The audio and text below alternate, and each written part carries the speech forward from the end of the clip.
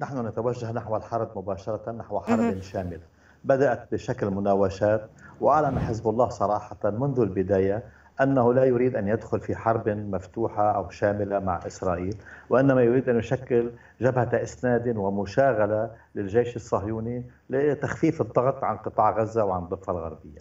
هذا هذا الشعار الذي رفعه حسن نصر الله في أكثر من خطاب وأعلن عنه قادة حزب الله مرارا وتكرارا أعطى إسرائيل جرعة أمان بحيث شعرت أنها ليس أمام خطر حقيقي على الجبهة الشمالية وإنما هناك من يريد إشغالها أو آه، استهلاك بعض قوتها على الحدود اللبنانية وبالتالي تفرغت لمعركة غزة.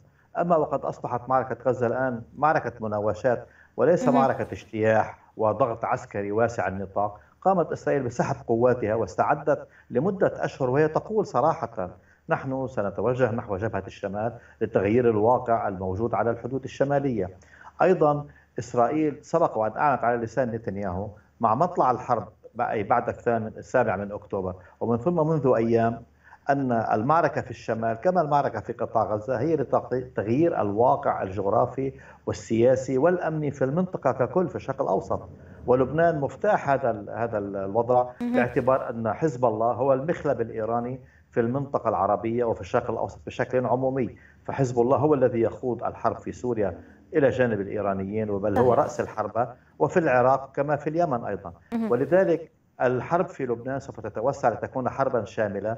وما نشهده الآن هو أنها حرب تغيير للواقع اللبناني وتغيير موازين القوى وإضعاف حزب الله بالفعل بقوة شديدة التأثير على قدرات حزب الله سواء باغتيال قاداته الميدانيين أو مستودعاته نعم. أو بنيته التحتية وبالتالي نحن فعلا في خضم حرب شاملة غير المعلنه على أنها حرب ولكن تداعياتها هي حرب شاملة وبالأمس شاهدنا هذا النزوح الكثيف غير المسبوق على الساحة اللبنانية لأن هذا النزوح يشكل حالة نزوح جماعي لكل الجنوبيين وفي البقاع أيضا وليس كان في السابق اسرائيل تنذر قرية معينة أو منطقة معينة بالخروج قبل قصفها أما الآن دون أي إنذار شاهدنا الجمهور اللبناني في جنوب لبنان يغادر دون أي تهديد آه، لفظي أو إعلاني أو حتى إرسال رسائل مشفرة أو غير مشفرة. الجميع خرج لأن حجم الهجوم الصهيوني على جنوب لبنان كان كبيرا جدا وبالتالي لا قدرة لهذا الجمهور على تحمل هذا الضغط العسكري والضغط الحربي الذي يطال الأرواح والممتلكات أيضا، لذلك نحن أمام حرب مفتوحة بالفعل لتغيير الواقع. طيب سيد حسان في حال آه، يعني الحرب الشاملة اندلعت وبدأت هناك مراقبون يرون بأن سوريا يعني ستكون في قلب العاصفة كيف تعلق على هذه النقطة؟ هل فعلا آه، الساحة السورية ستكون في قلب العاصفة أم يعني سيكون التأثير على سوريا محدود كما يصفها البعض الآخر؟ في الواقع كثير من مؤيدي حزب الله ومن المحللين أو الإعلاميين الذين يظهرون على الشاشات يحاولون أو بالأحرى هم مربكون لأن سوريا حتى الآن كنظام أتكلم لم تتحرك إلى جانب حزب الله أو عن أو أثبتت أنها جزء من محور آه، طهران في المنطقة، استفادت من هذا المحور لضرب الثورة السورية، لتهجير الشعب السوري، للتلاعب بالديموغرافيا، لتدمير أحياء ومدن وقرى، ولكن لم تقف إلى جانب هذا المحور في معاركه، ولذلك لاحظنا أن نصر الله وكذلك نعيم قاسم وقادة حزب الله لم يعني يلمحوا إلى الدور السوري مطلقا في هذه الحرب حتى أنه أن نصر الله قام بتبرير التلكؤ السوري كنظام عن مساعدة محور آه، طهران أو عن الوقوف إلى جانب حزب الله في معركته باعتبار أن سوريا الآن تعاني من نتائج الحرب المدمرة وإلى آخره، إنما هذا كان تبرير بالفعل وليس أكثر من ذلك. النظام السوري بعد أن استنزف كل ما يمكن أن يأخذه من من إيران ومن ميليشياتها لضرب شعبه للبقاء في السلطة.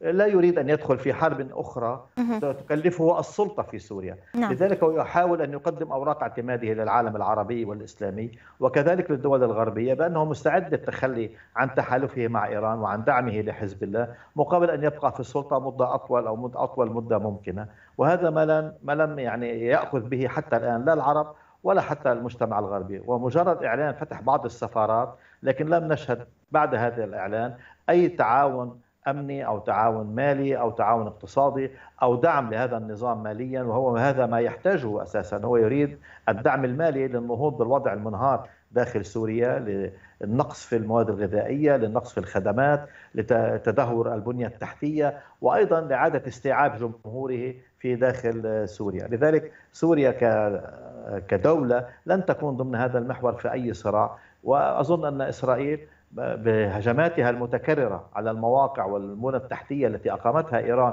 وحزب الله. هنا نسمع في لبنان أن النظام السوري وبعض مؤسساته متورطة في إبلاغ إسرائيل عن هذه المواقع وتسهيل عمليات قصفها وضربها. ولاحظنا مؤخرا قضية لونا الشبل ومقتلها بطريقة يعني استعراضية للقول بأن هي من كانت تسرب المعلومات للأجهزة الروسية وبالتالي من الأجهزة الروسية إلى الأجهزة الإسرائيلية وكأن المشكلة انتهت عند هذا الحد.